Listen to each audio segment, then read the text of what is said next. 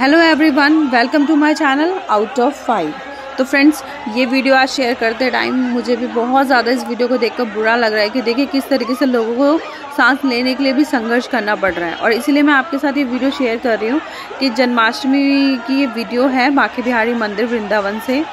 और देखिए फ्रेंड्स किस तरीके से रश हो जाता है इस समय पे मंदिरों में।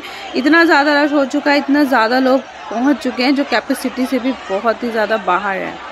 तो अगर आपके साथ बड़े हैं, बुज़ुर्ग हैं तो इस समय पर कोशिश करिए कि घर में ही जन्माष्टमी मनाइए, घर के आसपास के मंदिरों में जन्माष्टमी मनाइए। आपको क्या लगता है फ्रेंड्स कि इसके लिए कौन जिम्मेदार है? प्रशासन जिम्मेदार है जो इतनी ज़्यादा भीड़ को, श्रद्धालुओं को हैंडल नहीं कर पाया या फिर खुद श्रद्धालु जिम्मेदार हैं?